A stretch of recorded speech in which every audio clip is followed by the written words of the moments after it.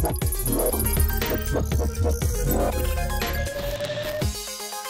Hoje você é o meu convidado para conhecer um pouco sobre o nosso novo mouse gamer, o P701 Pichal Game. Um mouse gamer com LEDs RGB que vai conquistar você aí de casa com o seu precinho e o seu custo-benefício. Então já larga o seu dedo no like se você estiver interessado nesse carinha aqui, ó. Assiste o vídeo até o final para você ver todos os detalhes sobre ele clica no link no card lá em cima para você comprar ele no nosso site. Agora bora conhecer o P701, novo mouse Pichal Game.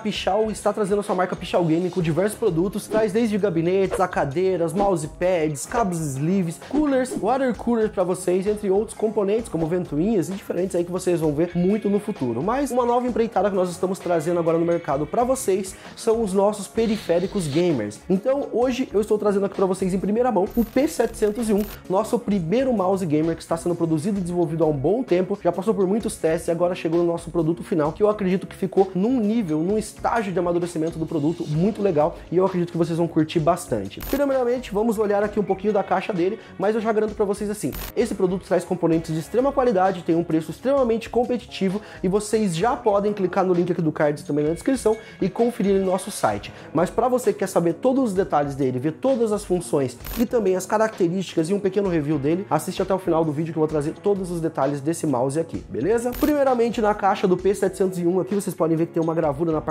da frente, onde mostra já os detalhes do mouse, fala um pouquinho das especificações, como o sensor, ele tem uma vida útil dos cliques ali de até 50 milhões de cliques, o que é uma vida útil extremamente gigante, um sistema de LEDs RGB customizável, que depois eu mostro para vocês, em um software próprio da Pichal, e aqui você pode ver já um pouquinho da pegada do mouse, que é uma pegada que se encaixa nos diferentes estilos, como claw, fingertip, você pode estar utilizando, justamente pelo design adotado nele, que é um design amplamente utilizado hoje pela indústria, justamente por agradar diferentes pegadas e diferentes gostos. Nas suas laterais ele possui aqui P701 na cor preta destacada com vermelho ali, na outro lado é Pichal Game que está escrito e na parte de trás temos um pequeno overview com um pouco das especificações, falando switch, o sistema de LED, mas isso a gente conversa já já e eu vou explicar para vocês em detalhe mostrando o mouse, ok? Vamos fazer um unboxing dele aqui rápido para vocês conferirem tudo que vem junto com o nosso mouse. Abertura fácil, tranquilo, padrão, né, de qualquer mouse aí do mercado. Temos o manual do mouse Pichal Game, todo configuradinho bonitinho ali, ó, vocês podem ver, ó, tem todas as informações, a descrição, tudo certinho, tudo em português para vocês. Ele vai vir embalado dessa maneira para vocês. Ele vem protegido em um plastiquinho aqui para não,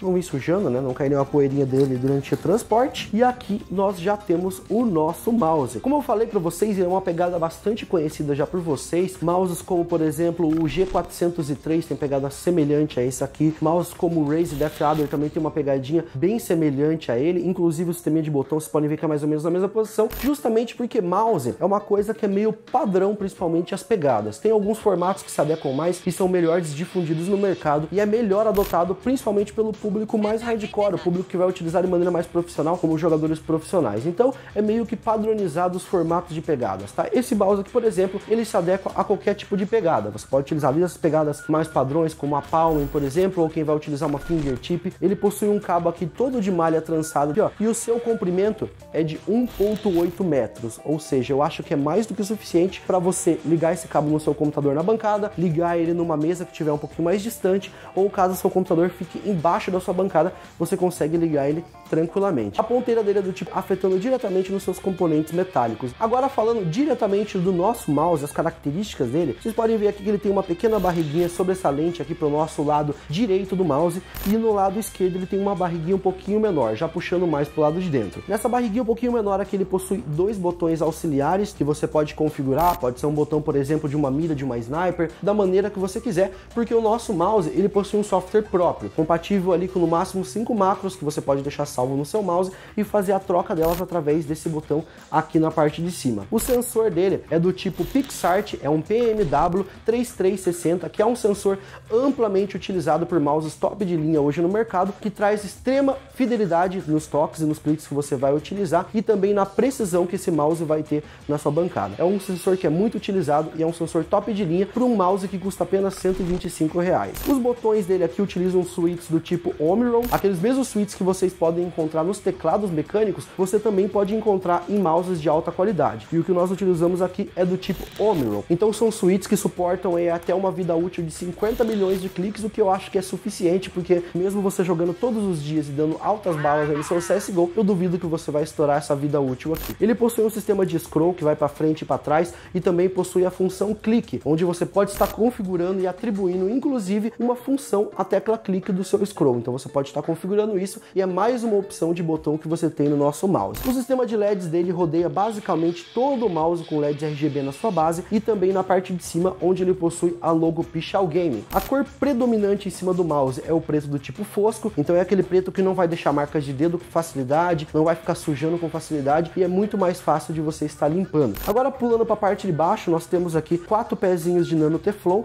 nas pontas, fazendo ele deslizar extremamente bem em cima de qualquer superfície. Na parte de baixo vocês podem ver a luzinha ali do sensor. Ele possui um botão aqui para você ativar e desativar os LEDs na parte de baixo e também um para você mudar o sistema de resposta do mouse, mudando de 500 ou para 1000. No caso, se você utilizar em 500, ele vai trabalhar ali na casa dos 2 milissegundos e se você mudar para 1000, ele vai baixar para 1 milissegundo, o que vai ter uma velocidade muito grande nesse mouse aqui. E ele te dá um indicativo de DPI de 400, 800, 1600, 3200, 6000 ou 12000, que é os suportes que esse mouse tem aqui. Além desses padrões que vai ali do seu 600 já por padrão até 12000 DPI, esse mouse ele é totalmente configurável via software. Então, no software Pichal Gamer você pode atribuir funções como 200 DPI, 300, 400, 800, 600 ou o nível de DPI que você quiser, ali na faixa dos 200 até os 12.000, da maneira que você quiser aí na sua casa, configurando e deixando exatamente como suas preferências para cada jogo. E como não poderia faltar, nós também realizamos alguns testes para vocês, justamente para mostrar um pouco da performance. Então tá rolando aí na tela para vocês, nós realizamos alguns testes, por exemplo, de aceleração, mostrando que o mouse em 800 dpi ou em 3200, por exemplo, ele possui uma pequena aceleração, mas é extremamente pequena, o que não vai atrapalhar em nada a sua gameplay.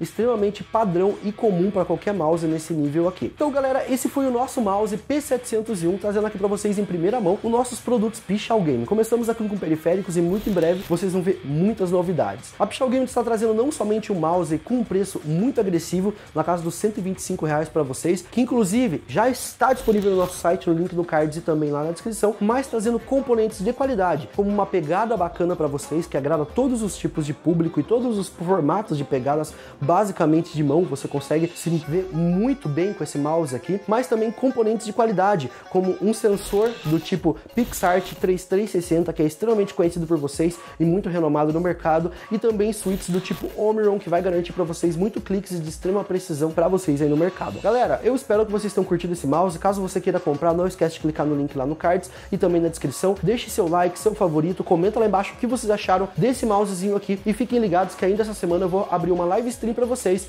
e muito provavelmente vou dar alguns mouses desse aqui para alguns sortudos que estiverem assistindo a nossa live aí, beleza? Não esqueça de deixar seu like, seu favorito, sua inscrição no canal é muito importante e nos vemos no próximo vídeo, galera. Até a próxima!